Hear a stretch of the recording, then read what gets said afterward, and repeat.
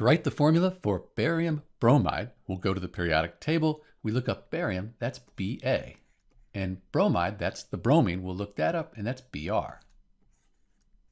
So we have a metal, barium, and bromine, that's a nonmetal. And when we have a metal and a nonmetal, that's an ionic compound.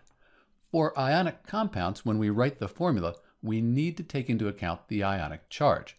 So back to the periodic table, barium in group 2, that has a 2 plus ionic charge. Bromine, that has a 1 minus ionic charge.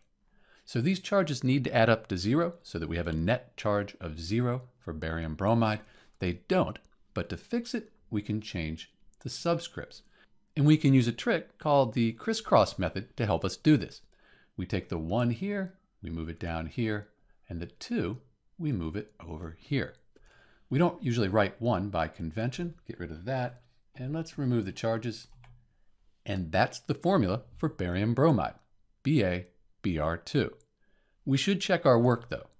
So remember Ba, that was 2 plus, and the bromine, that was 1 minus.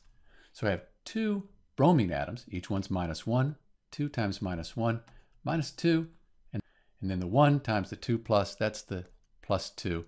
Plus 2 and minus 2, they add up to 0. So this is the correct formula for barium bromide. And this is Dr. B. Thanks for watching.